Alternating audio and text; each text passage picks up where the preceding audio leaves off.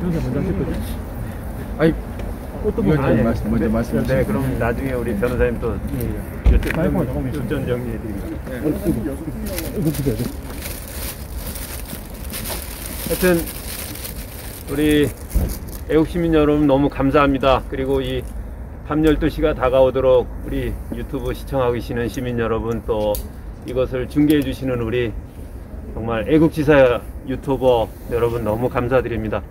어, 정말 대한민국의 이런 정의와 또이 잃어버린 공정을 되찾아가려고 저희가 이렇게 밤늦게까지 투쟁하고 있지 않나 이렇게 생각합니다.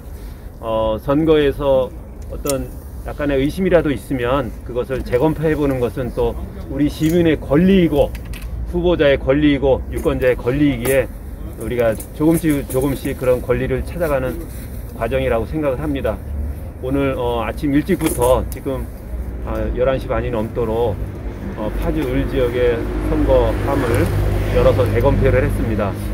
사실 재검표하면서도 어, 법원이나 선관위 쪽에서 많은 그런 어, 제재가 있었지만 사실 잘못된 제재라고 생각합니다.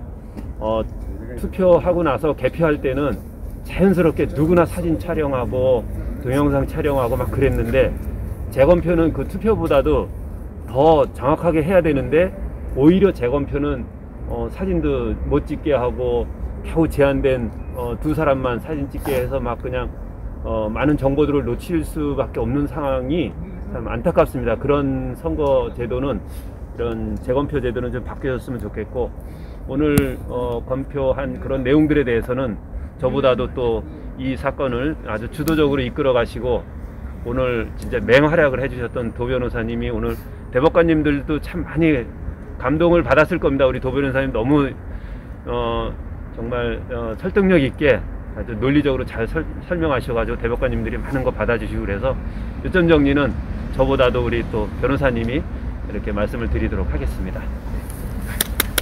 고맙습니다.